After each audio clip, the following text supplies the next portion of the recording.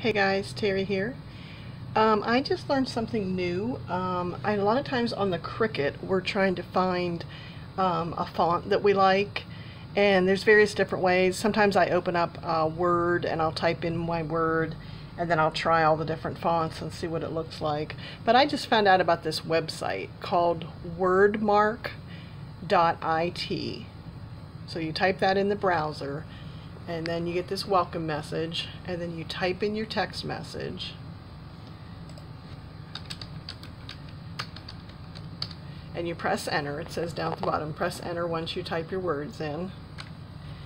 And then this will look at all the different fonts that are on your computer the ones that you have installed.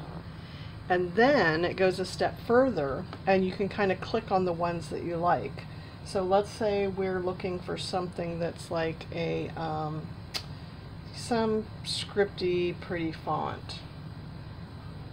Like let's say we like this one and then it'll say okay click the filter. There's a filter over in the far right corner. You can't see it because of the sunshine but um, there's a filter there that says let me find other ones that look like this.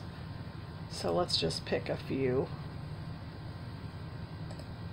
so I've picked three and then I say filter the selected ones. And there's just a bunch of options you can do with this. You can save the image. I saw one person, um, and notice it tells you what the font is right here. But you could save that image and then you could bring that into Cricut Design Space and have it, um, like this one over here, has a weld on it. This one over here on the far right hand side.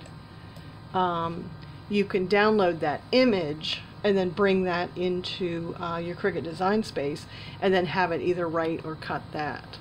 So I just found out about it and I thought it was really fascinating. So it's called wordmark.it and on my blog post I'll have a link to it. Um, but it lets you just type in the words and then see all the fonts that are on your computer. So I just learned about it and I'll um, do some more updates as I learn more about it. But I thought this was just super, super handy. Just a quick way to type in something and then see what the fonts are, um, what they would look like in the different fonts on your computer. So I hope this uh, taught you something new. I'm still learning and I like sharing with you. So subscribe to see other tips like this. Thanks, guys.